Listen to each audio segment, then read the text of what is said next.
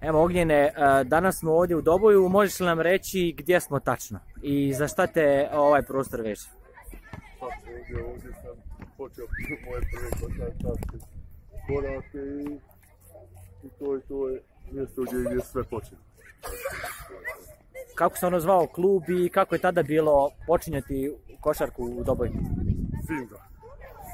Košarkaški klub Simda, pa to je, to je za mene bio prvi kontakt uopšte, uopšte sa, sa košarkaškim terenom i sa, sa, sa košarkaškom loptom, tako da, da to je bio početak svega. E, Evo danas smo ovdje, htjeli smo i na teren, ali je košarkaško igralište zaključano. Kako ti to gledaš i kako je onda bilo? Pa onda nije bilo zaključano, ali mislim opet da, da, da, da ko želi da igra na način da, da, da, da uđe na teren.